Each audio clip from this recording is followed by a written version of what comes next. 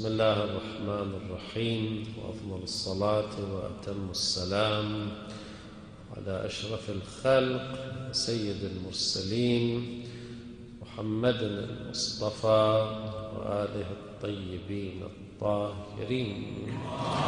السلام إن من أحب المجالس إلى الله عز وجل مجلس يحيى فيه ذكر أهل بيت النبي صلى الله عليه وآله وسلم.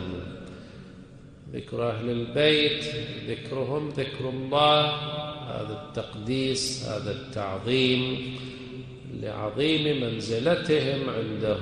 ولهذا الزيارة الجامعة وهي من أفضل الزيارات من حيث المتن والمضمون يقول التامين في محبة الله. المحبة الإلهية لهم ومحبتهم لله. هذا التعبير ليس بالهين. قيمة الإنسان بتعلقه بالله عز وجل. أئمة أهل البيت وصلوا إلى مرحلة تامة في المحبة الإلهية.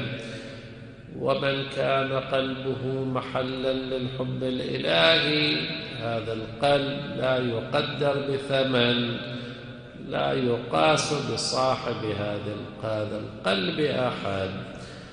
نحن لا نعلم مقامات المعصومين عليهم السلام لأنه لا نعلم هذه المضامين. المهم حديثنا حول علم من أعلام الهداية. حول نور من أنوار الملكوت ألا وهو إمامنا الباقر صلوات الله وسلامه عليه. الإمام الباقر والإمام الصادق لهما علينا حق عظيم الأئمة عليهم السلام كلهم لهم حق علينا. ولكن في مقام الفعلية لظروف زمانية تاريخية ترشح منهما العلم الكثير. الإمام الباقر سمي بهذا الاسم لأنه شق العلم شقا وأظهره إظهارا. من قال هذا الكلام؟ جابر الجعفي عندما سئل عن اسم الباقر عليه السلام. هناك بعض الكنوز في الأرض مغطاة بالتراب مغطاة بالتراب. الذي يشق التراب ويستخرج الكنز ويظهره هذا يسمى باقرا. الزارع بمعنى من المعاني باقر لأنه يشق الأرض ويستخرج منها البركات. الإمام صلوات الله عليه شق العلم شقا أظهره بعد الخمول. والده الإمام زين العابدين تعرفون كيف قضى شطر من حياته في زمان يزيد بن معاوية لعنه الله. شطر من حياته بعد استشهاد أبيه. كيف كان حاله بعد استشهاد والده؟ إذا الإمام السجاد عليه السلام لم تثن له الوسادة. سيد الشهداء أيضا بعد استشهاد أخيه المجتبى لم يكن طليقا في المدينة وأخيرا زحزح وقتل في أرض كرب وبلاء الإمام المجتبى كان مبتلا بخذلان أصحابه قضايا حربه إلى آخره مع خصمه. أمير المؤمنين أيضا سنوات الجلوس في المنزل وعندما جاءته الخلافة تعرفون كيف ابتلي بحرب القاسطين والناكثين والمارقين. تقريبا الإمام الذي لم يبتلى بهذه الأمور لم يحبس لم يحارب لم ينفى كالإمام الرضا عليه السلام لم يحبس كحفيده موسى بن جعفر الإمام الصادق والباقر. نعم هكذا الظرف مر عليهما ولو أن كل إمام مر بظرفيهما لترشح منهم العلم كما ترشح منهما صلوات الله عليهما. عموما أئمة أهل البيت نعم عموما أقول كل واحد لا بنحو الأغلبية كلهم تربوا نعم في الأحضان الطاهرة. انتقلوا من الأصلاب المطهرة والأرحام الطاهرة. أما الأصلاب فأصلاب آبائهم. النبي جدهم الأكبر أمير المؤمنين وهكذا. من حيث أصلاب الرجال الأصلاب الشامخة. من حيث الأمهات الأرحام المطهرة. هذه الواقعة في حياة والدة الإمام الباقر عليه السلام شاهدة على ما نذكر. يقول الإمام الباقر عليه السلام وهو يمدح والدته ومن هو أدرى بمزايا الوالدة من الولد. يقول كنت كانت أمي قاعدة عند جدار فتصدع الجدار وسمعنا هدة شديدة. يعني هي تحت الجدار وأراد الجدار أن يسقط عليها.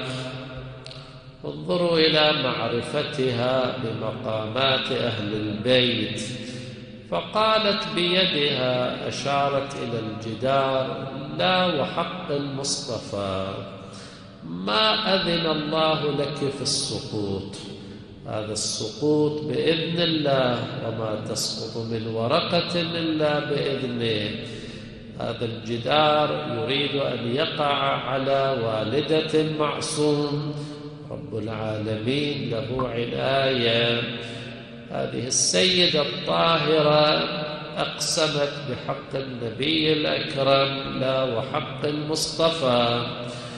ما أذن الله لك في السقوط ماذا جرى بعد ذلك؟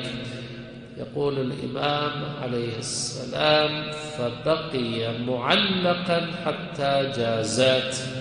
هذا الجدار ما سقط ومع ذلك تصدق عنها أبي بمائة دينار لأنها نجت من هذه الحادثة. والإمام الصادق عليه السلام ذكرها يوما فقال كانت صديقة لم يدرك في آل الحسن مثلها. الإمام الصادق عليه السلام ذكر هذه السيدة الجليلة. إذا الأرحام مطهرة والأصلاب شامخة. ما هي النتيجة؟ النتيجة أن الله عز وجل استخرج منها هذه الذوات الطاهرات جابر بن عبد الله الأنصاري كان آخر من بقي من أصحاب النبي صلى الله عليه وآله كان معمرا. يقول الإمام الصادق عليه السلام كان رجلا منقطعا إلينا أهل البيت طبيعي جابر هنيئا له رأى النبي رأى أمير المؤمنين والذي زار قبر الحسين عليه السلام في قصة الأربعين جابر يعلم هذه الذوات الطاهرة هذا الرجل لقي الإمام الباقر عليه السلام في بعض سكك المدينة فقال له يا غلام من أنت؟ يبدو كان في حداثة سنه إمامنا الباقر عليه السلام. انظروا إلى هذا النسب المشرق يا له من نسب. قال أنا محمد بن علي بن الحسين ابن علي بن أبي طالب. أنا محمد بن علي بن الحسين. نور بعد نور شموس طالعة. قال له جابر يا بني أقبل. فأقبل. ثم قال له أدبر فأدبر. فقال شمائل رسول الله ورب الكعبة. من يقول هذا الكلام؟ لا يقولها شاعر يقولها من رأى رسول الله. قال هذه الشمائل شمائل النبي. ثم قال يا بني رسول الله يقرئك السلام.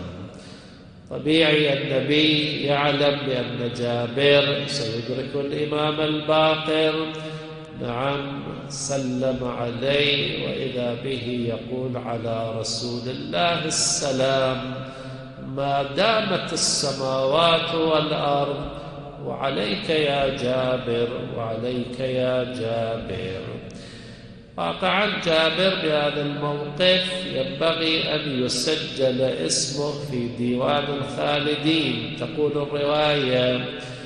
ثم كان جابر يأتيه فيجلس بين يديه فيعلمه.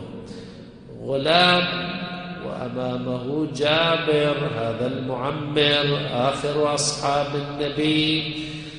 جابر ينقل رواية عن رسول الله فربما غلط جابر. يقول الرواية بالمضمون مثلا يشتبه في النقل فيرد عليه ويذكره. الإمام الباقر يقول له أخطأت الرواية كذا وكذا فيقبل منه وكان يقول يا باقر يكررها ثلاثا.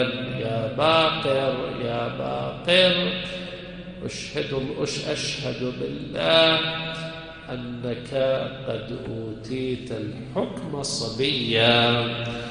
شهادة صدر من أهلها ووقع في محلها. إلهي شرفتنا بهم في دار الدنيا. فلا تفرق بيننا وبينهم في العقبى. اجعلنا في درجتهم. وأنلنا شفاعتهم. واجعلنا من خير المتوسلين بهم. إلى أرواح المؤمنين والمؤمنات نهدي ثواب الفاتحة مع الصلوات.